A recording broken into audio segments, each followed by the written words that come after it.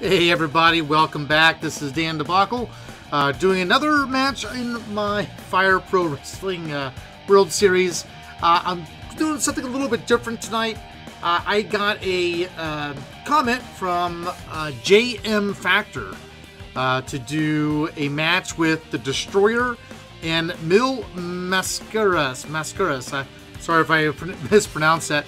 but I'm going to be honest, I didn't really know much about these two. I watched a YouTube video of a match they had in Japan on October the 9th, 1973, uh, 1973, and man, instantly hooked. Uh, you can tell that each had a huge respect not only for each other but for the sport as well. Uh, you know, it was very clean match, uh, really well done, over 30 minutes long, and I had a great time watching it. Uh, surprised I haven't really watched any uh, any of their matches um, at all. And uh, looking at some of the details I've learned about, uh, I'm just going to say MM here. Uh, but from what I found out, his nephew is Alberto Del Rio, uh, who just recently left the WWE. huge popularity. He was in the WWE Hall of Fame class of 2012. He was so large. He was in uh, a lot of movies during that time. Just a huge, huge superstar. So, uh, what I'm going to go ahead and do is I'm going to go ahead and start the match. I, I, I, thought about doing something a little funny, like maybe, you know, barbed wire or this, that. But based on the way that these two wrestled, uh, you know, no. Just put them in the ring, four corners, and let them do their magic. So we'll go ahead and get started here.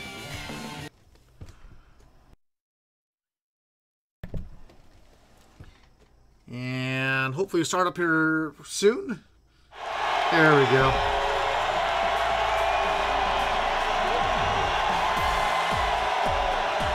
So here we are with the, the Destroyer. Um, now, uh, when he wrestled uh, Mil Mascaras, uh, it was considered Battle of the Mask. They had great in-ring chemistry, uh, from what I saw there. You know, they it was back and forth. They had some funny parts. I mean, it was just a, a good, good match. Uh, Destroyer was an athlete from Syracuse University uh, who then became a professional wrestler. And uh, the most random fact that I found of his was that he, after he retired, he uh, brought over from Japan uh, and opened a park golf course. Now, park golf is kind of like a combination of croquet and golf. Uh, what makes it popular is that uh, you, you have one club and one ball. So it's very simple, just hit the ball and go. So uh, pretty interesting, you know, with that. Here we are, starting off the match. No Mascaras already starting. His name means uh, a thousand masks.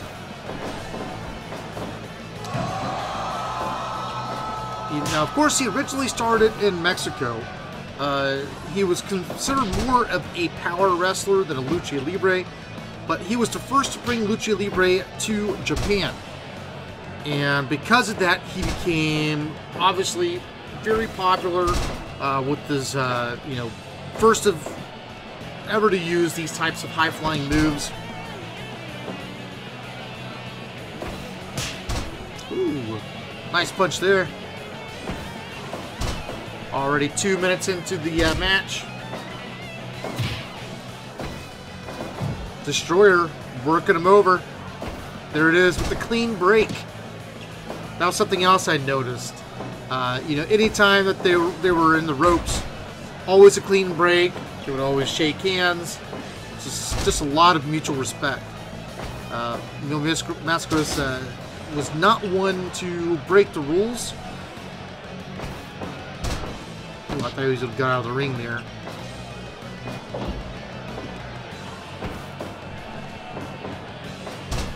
Oh, reversal. Missed a drop kick.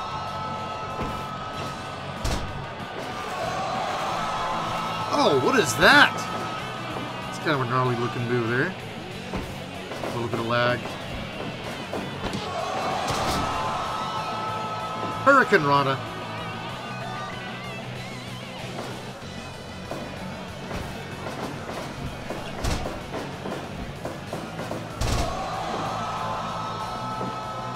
Some other things I read about Mil uh, Mascaras is that he was one, he was pretty difficult to work with, and after watching him and reading what the comments are, I, I can I can see where why his thinking, uh, you know, uh, he was really big into I'm not going to sell for you if you do a crappy move, right? So if you do an awful looking punch or an elbow or something like that, I'm not going to make you look good when you're really looking like crap. So he would he's often big with no selling. And because of that, other wrestlers didn't really get along that well. But I, I can definitely understand his reasoning behind it. And it shows in his matches too. When he does have somebody in the ring who can carry, oh, just great, great matches.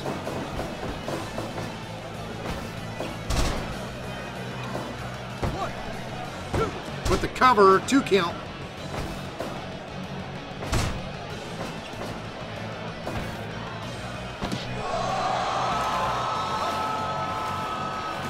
Is he going to tap? Nope, he breaks out. Also, uh, you may not know, he was also the very first wrestler ever in Madison Square Garden to wear a mask.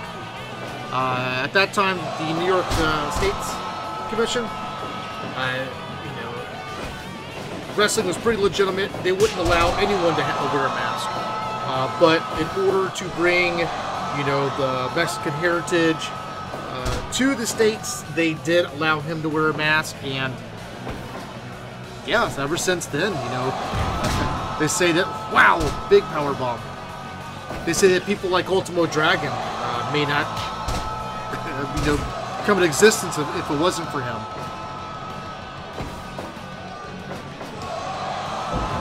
Pretty good back and forth match so far. I haven't really seen a clear, you know, uh, any clear advantages from one from the other.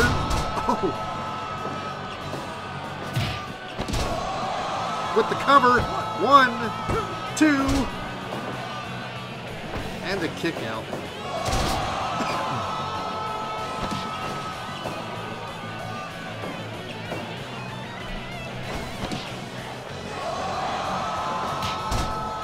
Ten minutes into the match. The Destroyer starting to slow down. Into the ropes. Oh, big crossbody block. Is this going to be it? Nope, but he counters. Butterfly suplex. And a cover. Just a one count. Here in the background, big applause from the fans. Working over those hamstrings.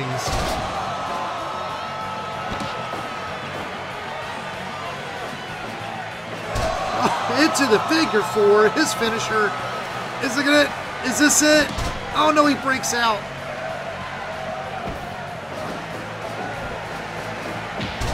Oh, the counter. Another cover up and just a two count. Fans are definitely excited for this one. Ooh, Lou Thesz press. One, two. Just a big back and forth.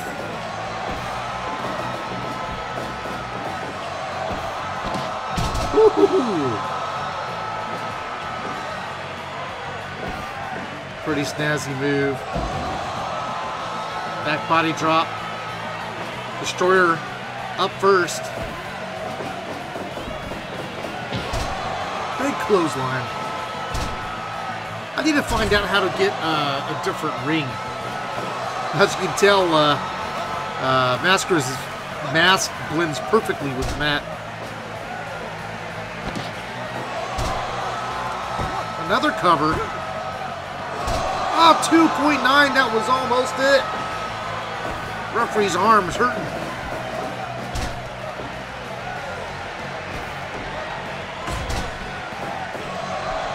Oh, working that leg.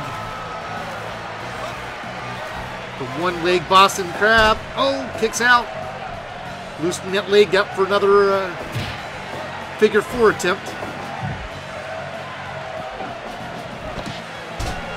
Ooh, is that a monkey flip?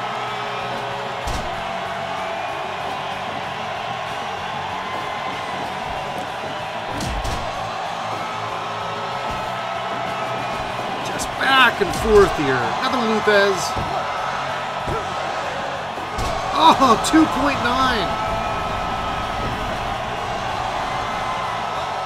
The roof is ready to blow off. This crowd is really into it. Exchanging blows. Hulking up. Drop kick. Oh, he returns the favor.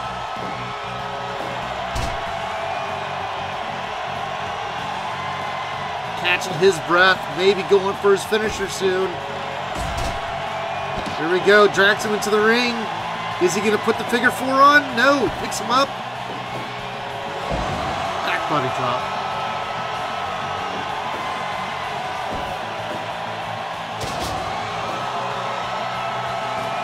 Going straight for the cover. Oh, 2.9. 17 and a half minutes gone by.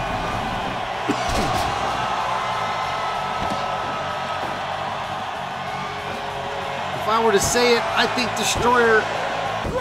There it is. There's the three count. He wins exhausted. Absolutely tired and exhausted. What a match. Let's go take a look and see what the uh,